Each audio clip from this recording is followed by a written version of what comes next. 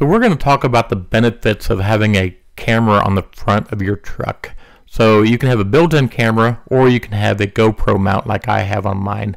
This GoPro mount is two-sided taped on so it's not going to ruin the grill of my truck so I can take it off at any point.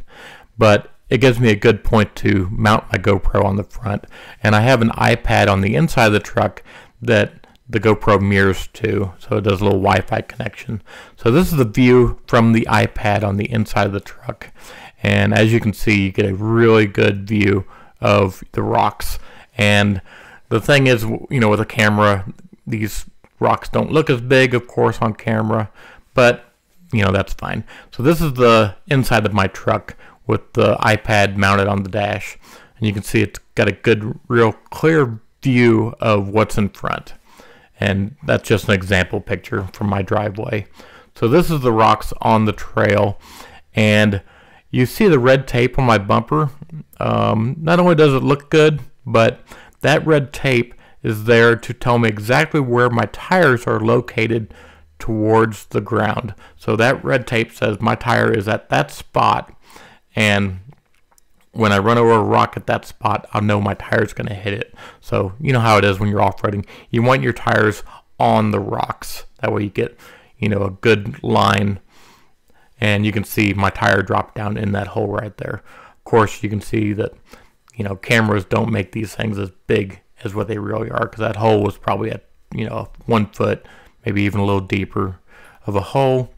And cameras just don't make it look as big.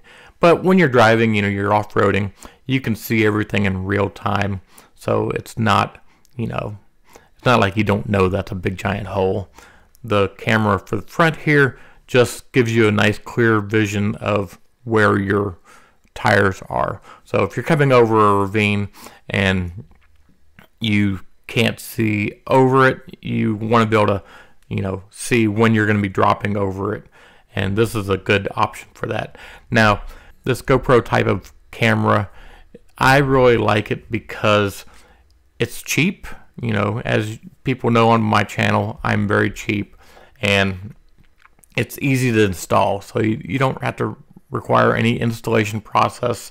It's just you stick it on there and you're done. So cheap and easy. That's the goal of a lot of things I do on this channel.